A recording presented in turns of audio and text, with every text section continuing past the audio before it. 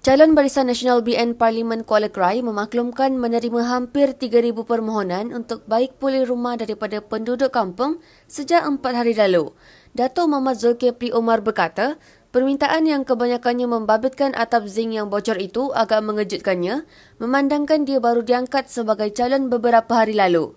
Beliau berkata demikian ketika ditemui di pejabatnya di Kuala Krai pada Selasa. Muhammad Zulkifli yang juga Ketua UMNO bahagian Kuala Krai berkata, semestinya permohonan itu membabitkan kos yang banyak dan beliau mengakui kebanyakan penduduk di Parlimen terbabit adalah golongan B40.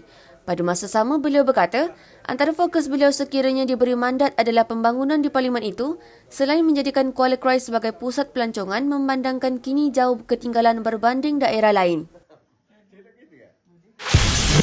Bonus Lazada. Beli gelar pada 11 November. Oh.